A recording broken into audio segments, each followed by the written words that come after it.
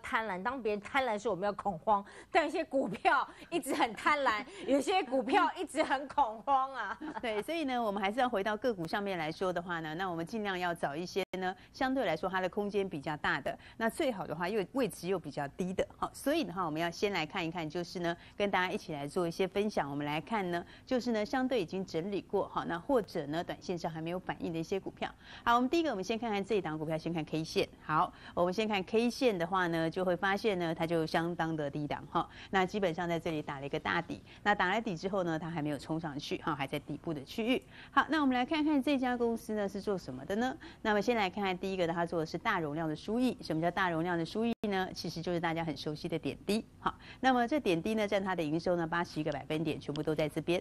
然后呢，它主要就是大陆为主，所以大陆的部分来说的话，嗯，对，就是说这个比较，其实就是一般中型到比较大一点点的哈。然后，所以这部分的话，它出的话呢，在大陆部分就集中在这三个省份，好，所以它基本上就在大陆，而且就是这三个省份。但是这个三个省份占大陆的比例，呃，这应该是十七趴，不是十趴，好，大概就占大陆的十七趴，因为这地方的人相当多。好，那我们来看这个产业里面的一些事情哈，跟现在的一个政策的方向。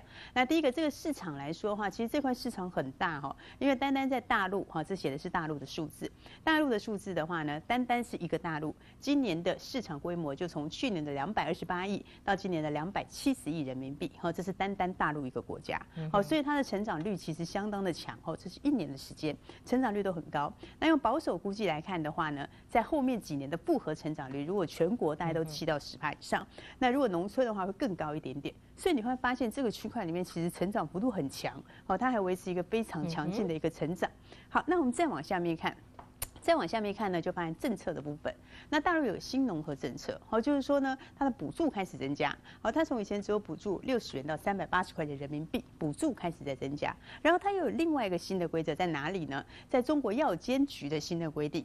那中国药监局新的规定的话，就是说呢，所有你出这一类型的人的厂商呢，你都一定要有我中国药监局的 GMP 的认证。好，那么现在重点就来了。那么因为所有的人都必须要有 GMP 的认证，所以没有的人就必须要退出这个市场。所以很多被淘汰之后呢，加上现在市场的需求又上来，所以现在市场的缺口已经到百分之三十了。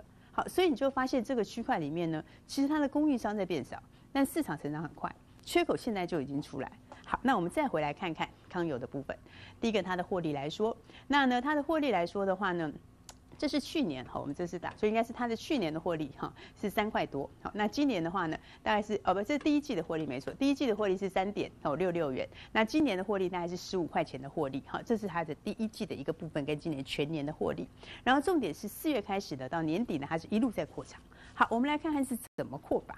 再往下面看，那扩场的话，你会发现呢，这个部分呢，它在两个区块里面扩，一个是软带的点滴，从零点八五亿平到一点八五亿平，那成长幅度非常大。好，就是大部分的这个地方的话，扩一百一十七个百分点出来，然后竖屏的扩产话也很大，扩两百一十个百分点，因为它本来是零点九五亿平，扩到二点九五亿平，所以它扩场相当相当的强，因为人多，市场成长性又很强，所以的话你就发现说这数字就是扩得非常非常的大。然后我们再往下面，总产能扩七十个百分点出来。那刚刚讲到一个重点，第一季挣三块多，那全年十五块钱，明年的获利的话，看二十块钱以上的获利。好，那么重点就来了，重点就在于它现在的股价。它现在的股价的话，它的目前的 P E 只有十一点六倍。